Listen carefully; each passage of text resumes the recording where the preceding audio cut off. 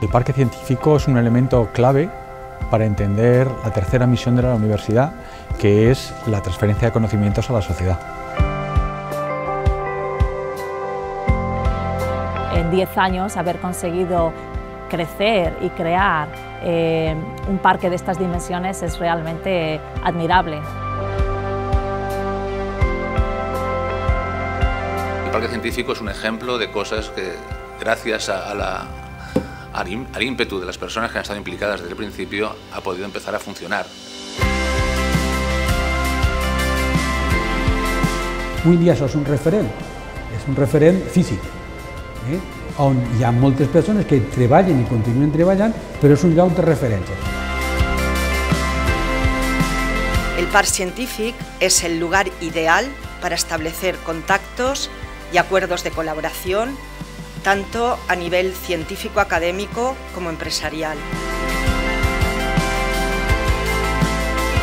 Pienso que es una gran idea que tanto las universidades como los centros de investigación puedan montar centros de colaboración con, con la empresa.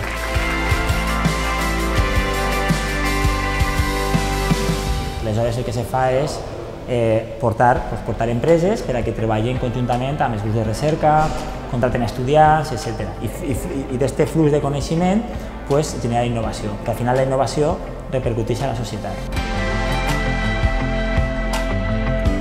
En estos 10 años lo que hemos podido certificar, y yo creo que es algo absolutamente que podemos decir con una firmeza absoluta, es que este modelo de pasillos compartidos al lado de la Universidad de Valencia pues funciona.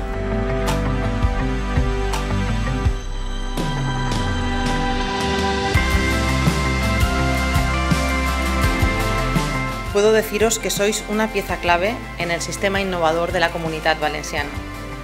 Siempre a la vanguardia, habéis visto antes que muchos aquello que era necesario para la transformación de nuestro modelo hacia la economía del conocimiento.